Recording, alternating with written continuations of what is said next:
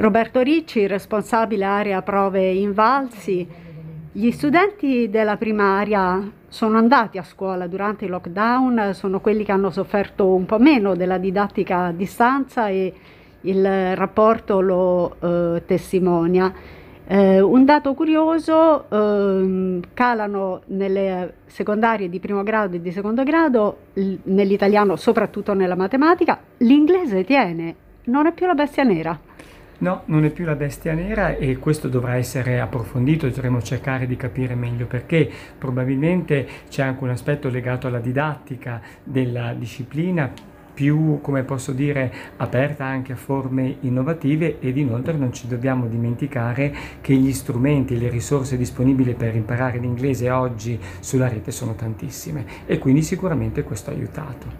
Perché invece la matematica ha sofferto così tanto, soprattutto nelle superiori la matematica, questo non solo in Italia, è una disciplina che si apprende prevalentemente a scuola. Anche le famiglie con strumenti culturali migliori, più forti, più, fanno più fatica ad insegnare, aiutare gli, i propri figli con la matematica. E quindi è chiaro che nel momento in cui si è ridotta di più la didattica in presenza, la matematica ne ha risentito maggiormente proprio perché è una competenza, una disciplina che si impara prevalentemente a scuola.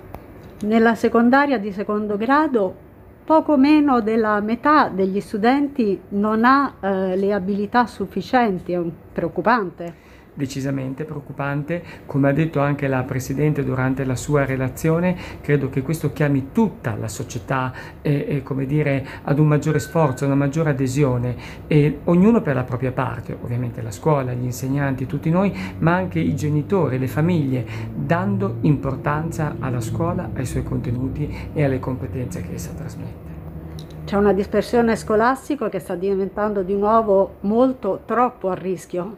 Sì, sicuramente questo problema c'è, dobbiamo affrontarlo. È chiaro che in un momento in cui sono minori gli strumenti per eh, aiutare i ragazzi quotidianamente, la dispersione è il primo aspetto che ne risente purtroppo negativamente. Ecco, credo che anche questo sia un punto dal quale ripartire. Non ci possiamo permettere di perdere tanti ragazzi.